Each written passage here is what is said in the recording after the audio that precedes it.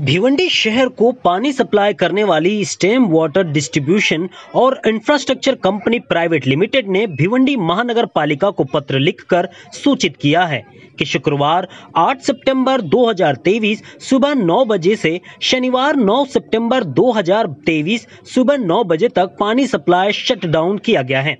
यानी कि पानी सप्लाई बंद रहेगा। शहाड़ पंपिंग स्टेशन पर नए एक्सप्रेस फीडर के चालू करने एवं अन्य रखरखाव कार्य के लिए 24 घंटे के लिए पानी सप्लाई बंद रहेगा।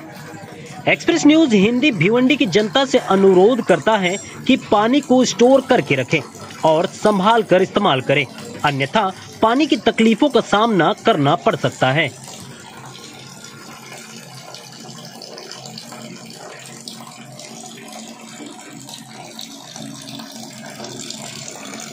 भिवंडी शहर के गैबी नगर स्थित अपना नर्सिंग होम में हर साल की तरह इस साल भी 15 अगस्त से लेकर 2 अक्टूबर तक मेगा सर्जरी कैंप का आयोजन किया गया है और वो भी किफायती पैकेज में।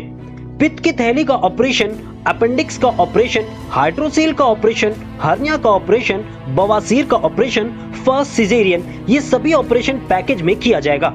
तो अगर आपके किसी परिचित इनमें से किसी भी बीमारी से परेशान हैं, ऑपरेशन करवाना चाहते हैं तो आज ही गैबी नगर स्थित अपना हॉस्पिटल नर्सिंग होम में जाकर डॉक्टर से बात कर अपनी तकलीफ़ से निजात पा सकते हैं।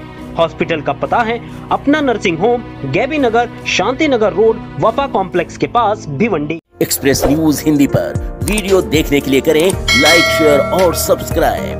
बेल आइकन दबाना ना भूलें।